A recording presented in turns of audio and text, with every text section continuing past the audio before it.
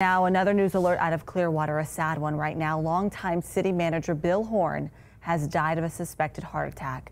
The retired Air Force colonel served Clearwater for more than two decades. Horne was 72 years old, and he was just a few weeks shy of retiring. We send our condolences to his family and friends. Funeral arrangements have not been made yet.